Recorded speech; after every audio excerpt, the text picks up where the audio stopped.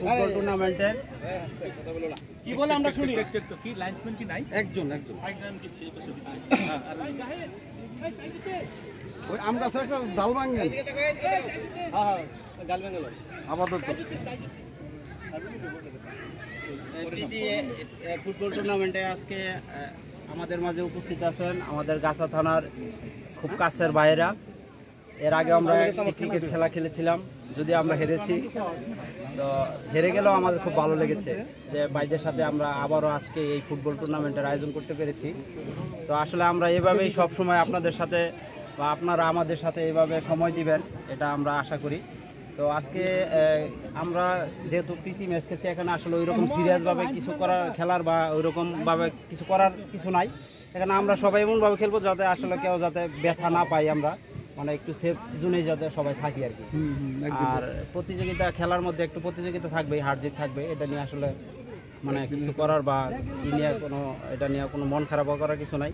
তো এই ব্যাপারে আমি এই আজকের খেলাকে উদ্দেশ্য করে শাহ ফরিদ ভাইকে দু একটি কথা বলে খেলা উদ্বোধন করার জন্য অনুরোধ করছি। ধন্যবাদ সাহেব ভাইকে। আসলে এই খেলা আমার কথা থাকবে ভাই কেউ যাতে ব্যথা না পাই আমরা হ্যাঁ? হার জিত কোনো বিষয় না ঠিক আছে? কিন্তু আমরা কাউকে যেন ব্যথা না দিই কারণ সবাই কর্মজীবী ঠিক আছে? আমরাও কর্মজীবী আপনারাও কর্মজীবী ঠিক আছে? মেন উদ্দেশ্যটা থাকবে যে ফ্রেন্ডলি ম্যাচ ফ্রেন্ডলি ভাবে যাতে শেষ হয় ঠিক আছে? কোনো ওই যে জয় পরাজয় ওদিকে যাতে না থাকে আর সবাই যাতে ব্যথা না পায় হ্যাঁ? ইনশাল্লাহ খেলে আমরা জিতবো। ঠিক আছে।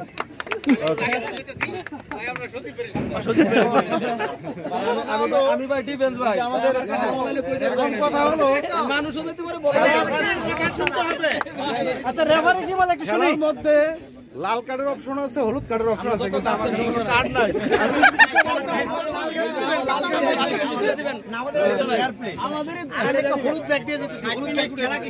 খেলা 60 মিনিট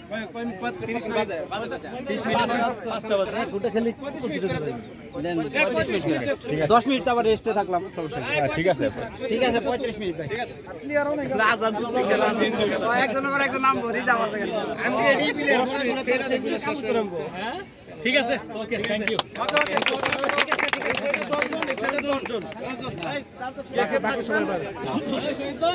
তো মোটামুটি শেষ খেলা শুরু হয়ে যাচ্ছে। কিছুক্ষণের মধ্যেই ইনশাল্লাহ এই খেলায় আমরা উইন হব। সকলের কাছে দেওয়া চাই আমরা যেন এই প্রীতি ম্যাচে ইনশাল্লাহ জয়ী হব। আহ, সেই আশা রাখছি। তো কিছুক্ষণের মধ্যে খেলা শুরু হয়ে যাবে। এই নামলা না মন্ডল।